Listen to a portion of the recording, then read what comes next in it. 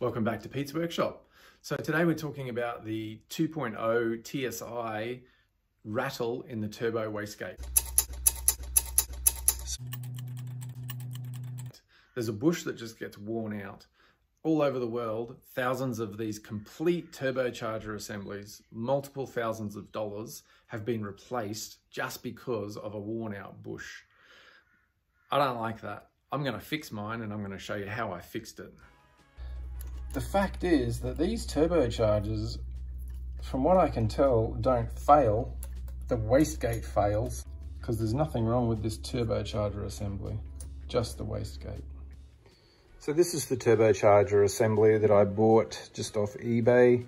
Uh, supposedly off a Mark 6 Golf GTI with about 133,000 Ks, I think.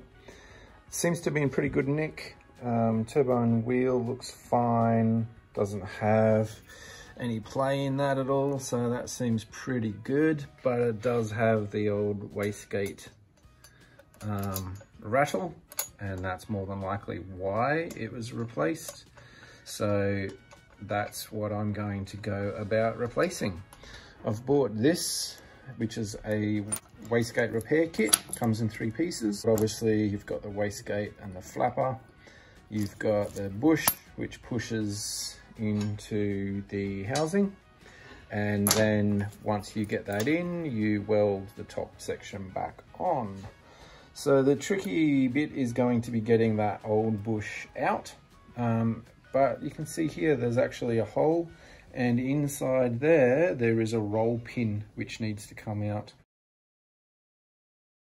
So I've just been trying to work out how I can get that roll pin out. Just gone to my old drill bit set. It's a good way of finding um, diameters of holes.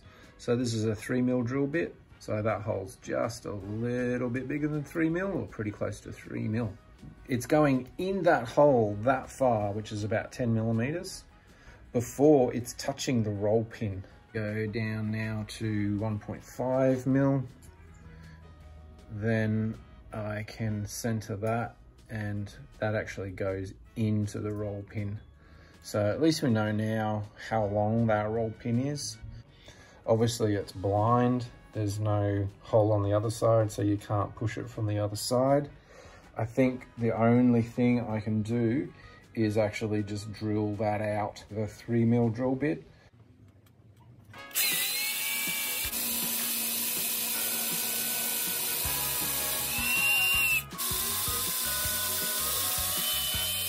So next step will be just to grind this off and lift off this part of the lever assembly. Then I can look at how I'm gonna push that bearing out. Um, but the next thing I need to do is just work out where this actually needs to be. Not super critical. You can see the hole is also elongated and flogged out. The wastegate actuator is also very worn and flogged out as well. There's no designed adjustment, but there's nothing stopping us filing those out to give us a little bit of adjustment.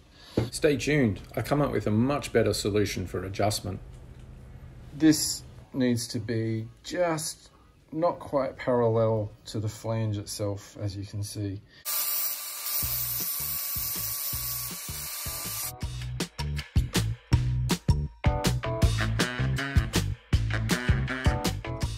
Going to see if I've ground it deep enough. It should come off relatively easy. Okay, so we can see definitely that that's starting to deform around here.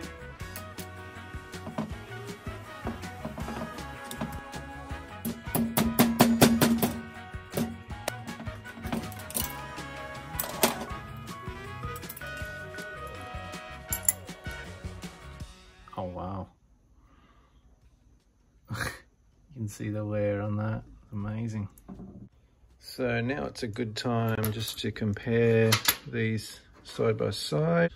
Diameter of the wheel, it's about a mil and a half bigger. Uh, looks a little bit fatter as well. Don't see any issues with that really, the way it's way it works. Looks pretty good. What about these numbers? How do they compare? You can see those numbers on there. And the numbers on the wheel itself. The flapper.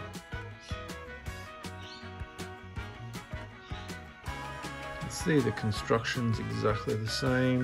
Looks like the same thickness material. Drilled to there. If I use that as a measure on that far, so almost all the way past the center, well it's definitely past the center point. So in theory, that should be enough. Obviously this is being pushed in from the top. It must have a ring cut in it that that roll pin went through as well. So I'm not just going to try and beat on this too much. I think I'm better off making a bit of a puller so that I can try and actually pull it through in the same direction that it came. So I'll take some measurements and see what I can make up. Some penetrating oil started on that. And might give it a bit of heat well. So I found myself a bolt which should looks like it should do the trick at least part of the way. At least I can test it to see if it, if it gets started. Just need another washer.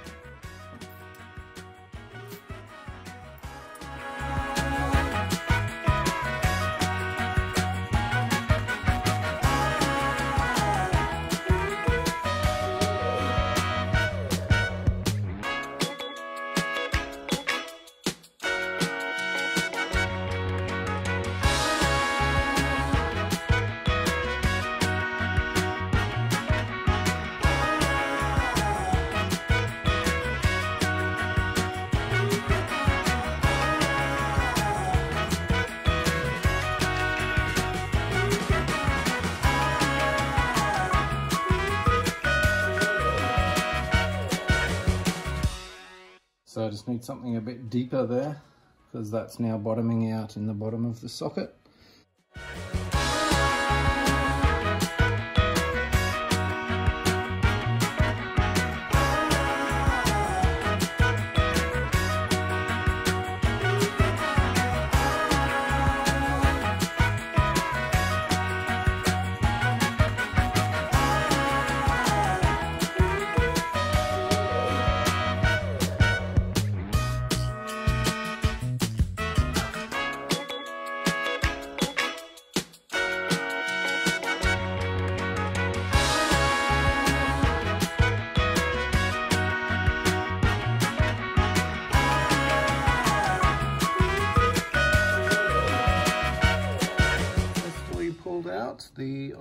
Bushing. No special tools, that was just a standard 8mm bolt.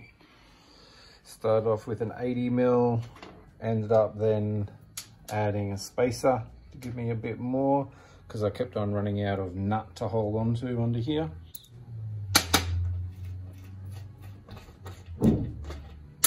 Then right at the end, just slide hammer, popped that out. So we can now compare the new one to that.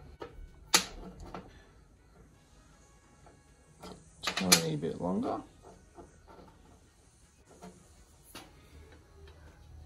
Should be fine though. So I've had the bush in the freezer overnight. I'm just gonna heat this up and uh, then we'll grab the frozen bush and see how we go at slipping it in.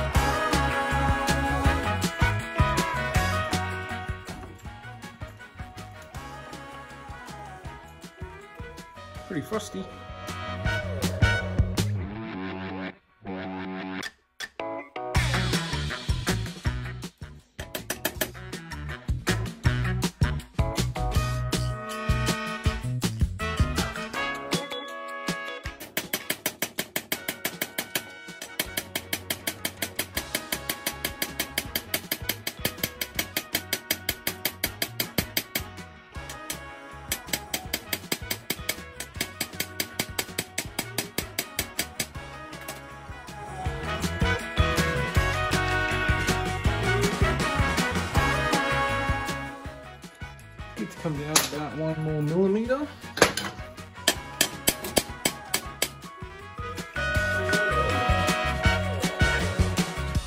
I'll show you what I'm looking at here. So I'm just seeing how central centralized that is.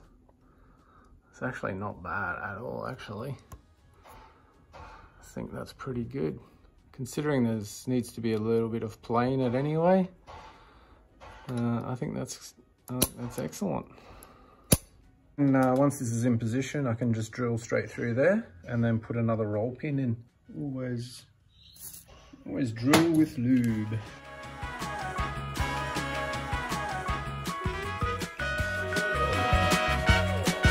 Got some roll pins just from a local parts supplier, Repco, an assortment of pins there.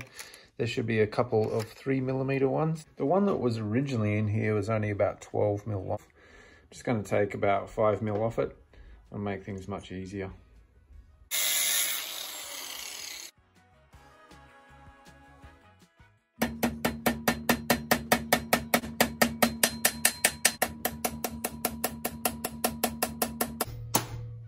And that's home. This is the wastegate actuator point that pushes on the wastegate flapper arm. You can see the amount of wear on that. I'm just going to look at how I might be able to make this better uh, than what it was, or at least try and fix what we've got there. Because obviously it's just going to keep wearing, but more than likely we could do something better. This is what I found from TurboSmart, an adjustable clevis pin with an internal thread, almost perfect for the job. According to the website, these are available with an internal M6 thread. However, I couldn't get those, so I had to get the quarter inch UNF. That was fine. I thought I could get a button die and that I'd be able to put the right thread on the push rod to suit that. Apparently, that wasn't so easy. I just couldn't get a quarter inch UNF button die locally. So then I just tapped out the internal thread to M6 and went metric all the way. It worked a treat.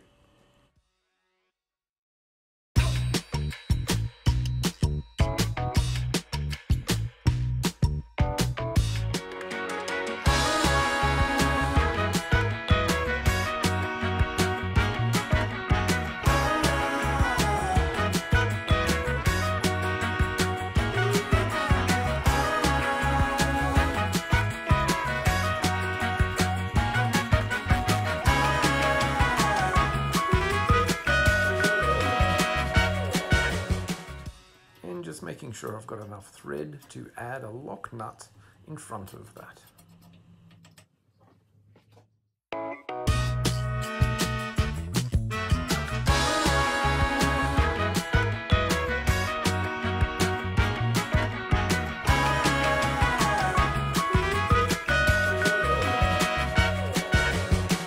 Okay, getting this ready to weld now. So I've just got a Stanley knife blade in there as a spacer between the bottom of the bush and the actual wastegate arm.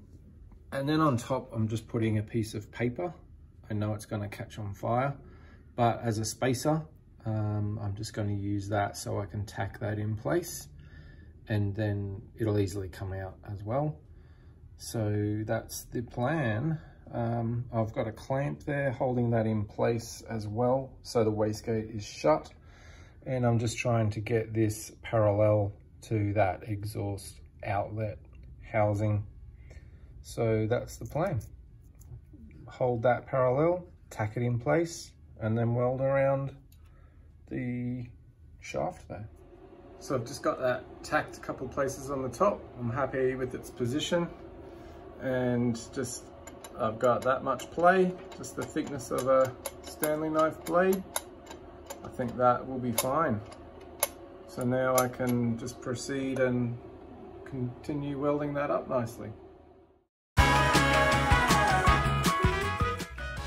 So since this normally has no adjustment on it, there's no real instructions on how to set this up that I can actually find.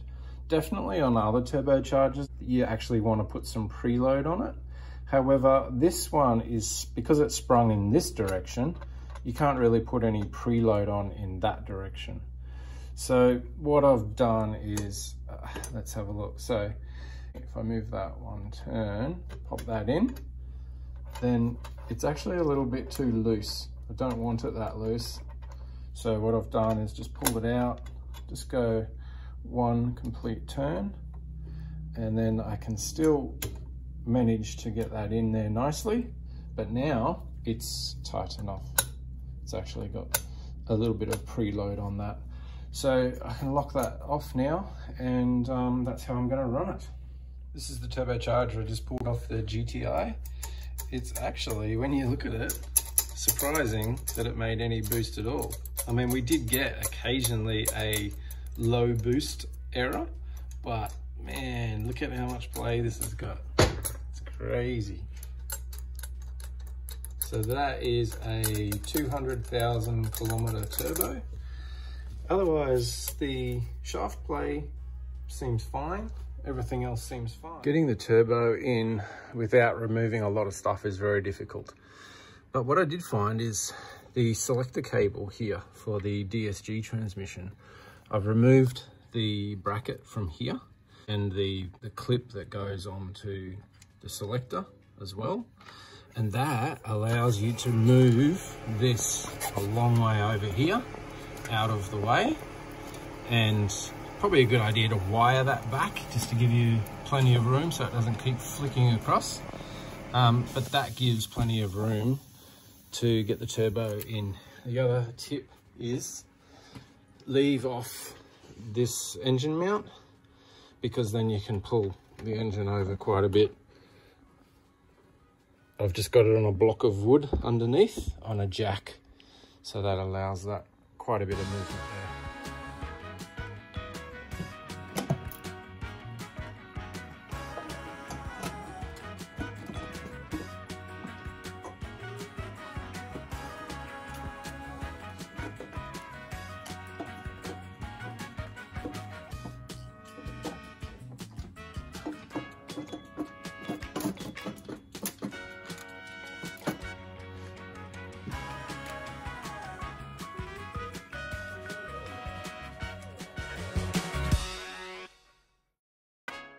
Course, that's not the first time I've done it. It's about the 10th time I've done that, so I've kind of finally worked out the best way to approach that.